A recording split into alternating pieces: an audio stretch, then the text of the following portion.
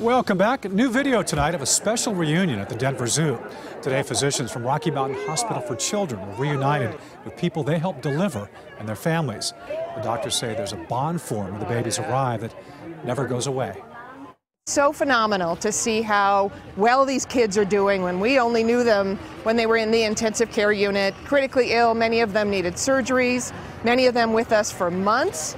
And then to see them thriving and happy and laughing and really enjoying this day with their families is just a tremendous reward for everybody. More than 500 families were expected at today's reunion.